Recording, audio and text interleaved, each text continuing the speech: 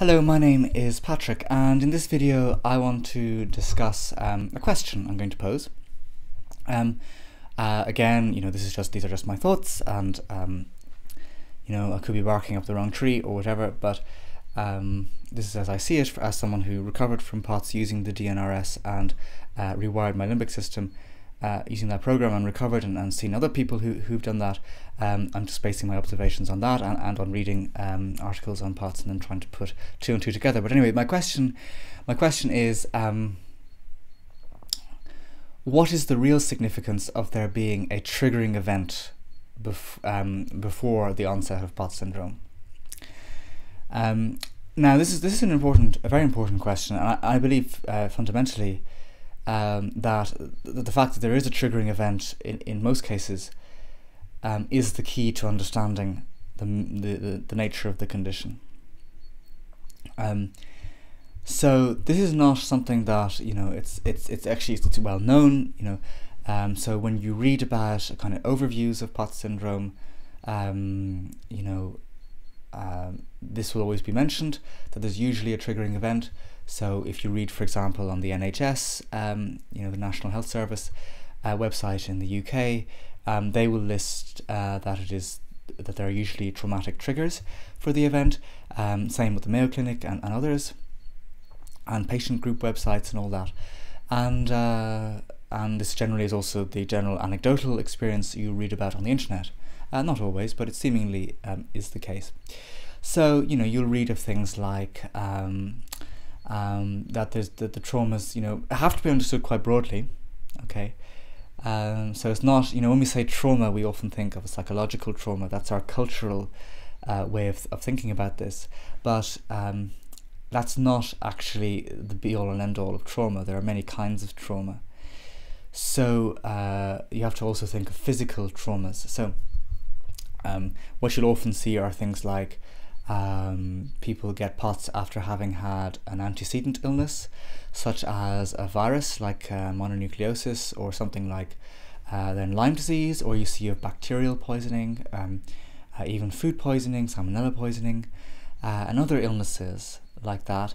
And then you'll read of cases um, where people get POTS after a difficult uh, pregnancy or a surgery. Um, and then, of course, there are the psychological traumas as well, or a combination uh, excuse me, um, a combination of of all of the above or, or some of them uh, together or sometimes the traumas are acute sudden onset. Sometimes someone um, has um, lesser traumas over a longer period each one uh, leading to uh, perhaps a heightened limbic system response um, and then has a final trauma which tips them over. Uh, so but basically that's something you kind of read about.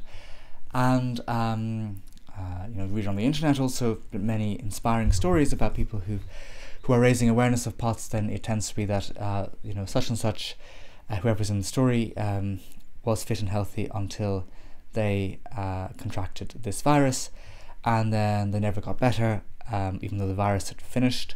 Uh, run its course, but they were still very unwell, and then eventually they were diagnosed with POTS. That's the kind of typical sequence that you read about. So, um, now, uh, my kind of basic uh, suggestion is that uh, given that this is, for the most part, an observable constant, it seems, I, I, it's possible that not enough has been kind of uh, thought about in relation to why it is the case that there's always a triggering event of some kind. You know, what is it about a triggering event and all of these different, I mean, on the face of it, rather different events, you know, pregnancy uh, versus a bacterial infection, you know, quite different. Um, you know, these different kinds of traumas, like, why is it that they all lead to the same condition, right? Um, I think that's the, I think that's the million dollar question. This camera has got to stop doing that. Uh, okay, I think that's the million dollar question. Is why why does why do why why why do so many different events lead to the same condition? Um, and I think that's the question that needs to be solved. So, um, what I'm suggesting is that um, uh, the brain, the limbic system, in particular, which is our protective part of the brain, fight or flight center, uh, can be affected not just by psychological traumas but also by physical traumas. um, such that it really doesn't matter what the actual initial trauma is in some sense, although of course you have to treat that initial trauma on its own terms. Um, you know, if it's bacterial infection, it needs the correct medication and so on and so forth. But in terms of the after effects, um, the limbic system can enter a state of crisis kind of no matter what the initial trauma was. And this is because um, the limbic system uh, is not just affected by external events, uh, as we all know, you know, with the case of post traumatic stress. Uh, so if someone's uh, in a war zone or in a car accident or whatever, they, they, their limbic system will be adversely affected by those things and they develop a state of extreme hypervigilance and PTSD, post traumatic stress. But it is also, and this isn't what is culturally recognized, uh, is also affected by uh, internal stressors uh, to the body. Um, so, um, you know, this is because um, there's not just a mind-body connection, but there's a body-mind connection, in that the body is always sending signals to the brain as to what's happening in the body. Uh, and you'll know this right now as you're sitting where you are, you're able to sense your body. Um, so that's not a controversial point. Um, it's just a fact. And so when you have a severe, let's say an especially severe virus, um, the distress signals that will be sent up from your body to your brain, um, for whatever reason, may cause that brain that's receiving the signals, the limbic system, to tip over into a crisis state and redouble its efforts to protect you.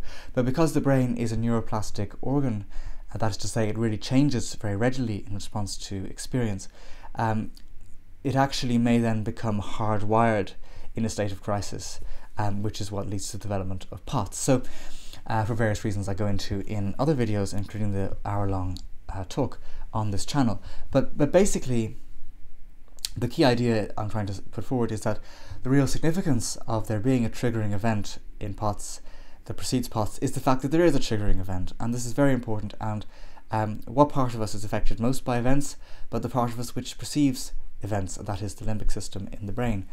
Um, and uh, when the limbic system is adversely affected and enters a crisis state because of the severity of the traumatic event, where trauma is understood broadly, then you end up with a situation where the brain is um, is stuck in crisis, and that is what leads to POTS.